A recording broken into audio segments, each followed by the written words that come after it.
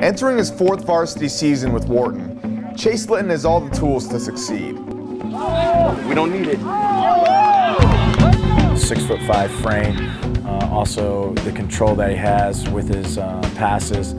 Uh, he can make pretty much all the throws that you ask of a high school quarterback and then a Division One college quarterback, whether it be a you know 50-yard go route to a 18-yard comeback to a five-yard slant. He has command of all those passes. And while those skills have allowed him to operate like a surgeon on the field, at times he has struggled off it. Like on a night in late December 2011 when a bad decision led to several burglary and theft charges. Charges that were later dropped.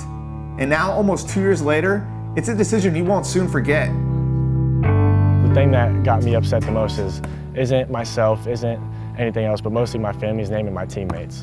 Um, I'll never forget the faces that was on my parents' face that night. I'll never forget the look my, my players gave me when I walked into the locker room. That night, from here on out, it's just, life has turned around a lot.